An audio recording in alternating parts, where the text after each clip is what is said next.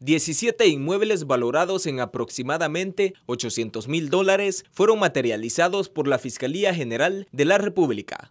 Este operativo permitirá que las propiedades ubicadas en San Salvador, La Libertad, La Paz y Usulután pasen al Estado salvadoreño. La unidad especializada de extinción de dominio, en coordinación con la División Patrimonial de la Policía Nacional Civil, está realizando la materialización de 17 inmuebles. Esto en virtud de una investigación patrimonial que inició en el año 2018.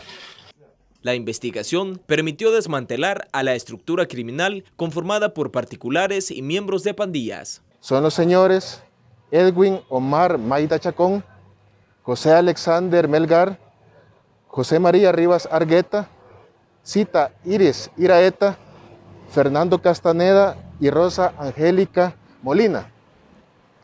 Estas personas, además de conformar una estructura, tenían un asocio con miembros de la pandilla 18 de la línea revolucionarios que opera en el sur de San Salvador. Ahora los involucrados están siendo procesados penalmente por los delitos de adquisición de inmuebles, falsificación de documentos, apropiaciones y estafas. Este es un informe de Ricardo Grijalba para la prensagráfica.com.